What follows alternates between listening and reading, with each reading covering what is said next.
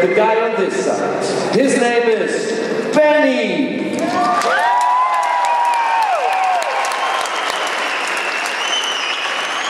So he took his favorite instrument, and that means we already have our last song for tonight. Yes. But we want to thank you all for coming and spending this wonderful evening with us. Thank you so much for that.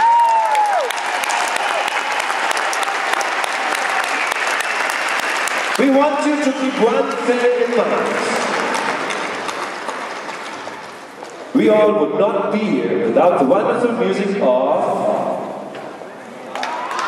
This is right. Thank you and have a good night. This is our last song. Budu zpívat českou písničku.